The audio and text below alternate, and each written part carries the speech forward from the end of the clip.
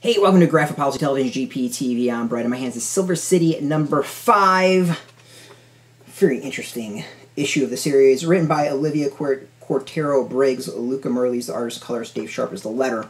So I said in when I reviewed the previous uh, issue um, that the it really you know how it all came together. I think would be key. This is the final issue for this series, and it definitely leaves uh, on a cliffhanger as things kind of all come together. Um, I think with some like some recent aftershock uh, series, people are either really like or dislike this ending.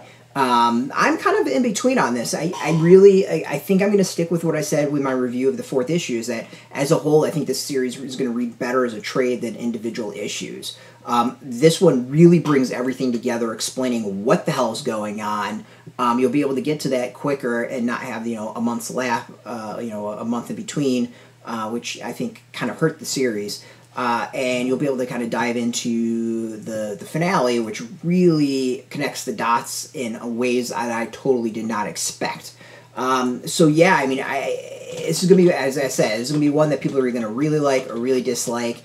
I'm generally leaning on the like uh, category of it because I just I, it, the, there's a lot to it that I think was unexpected. Some of it pretty easy to figure out that they it's been choreographed since like the first issue. Uh, but you know, or maybe even the second issue, whatever, somewhere around there. But there's a lot to this that did not, you know, that I wasn't expecting. There's some good action, but I think, and and it really ties up a lot. But overall, I think how it connects a lot of the dots and the stories that and the characters that been going on gets really, really intriguing. There's a nice, I think, I'm gonna say Tarantino spin to it, uh, bringing together all these plot lines and characters, so it kind of makes sense in a way. Um, is it believable? Yeah, there's very much a like everything having to fall perfectly aspect to it, but it's entertainment. Things just you got to roll with it sometimes when it goes like that. Um, the, the art of this, I think, continues to be pretty decent. You know, this isn't necessarily a, a series whose art's totally blown me away, but I like the style to it, and it's really kind of built a nice atmosphere overall. Um, to me, that the series continues like this very dark city esque aspect to it, uh, and I think a lot of that's what's really had me intrigued. Um, and I probably just showed off pages that you know spoil some stuff there, so sorry about that. But the the overall, I think is it, the the story. I think of five pages or five issues stronger than individual issues.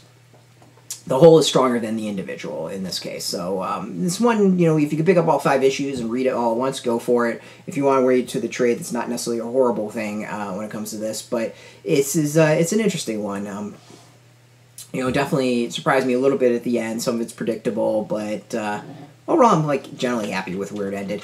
Uh, so this is out in comic shops now. You can go get it. We got a link with uh, uh, you put in your zip code, tell the comic shops near you. No shop, no problem. We do have some affiliate links. They are affiliate links, so we get a small percentage by doing that. You help support our site. I want to thank Aftershock for hooking us up with the review copy. We appreciate that, and of course, thank you all for watching. If you are into Aftershock, if you're into comics in general, check us out every single day at graphicpolicy.com. We're on Twitter, Facebook, YouTube, Tumblr, Instagram, all at Graphic Policy, keeping it nice and consistent. Until next time, keep reading those comics and keep it geeky.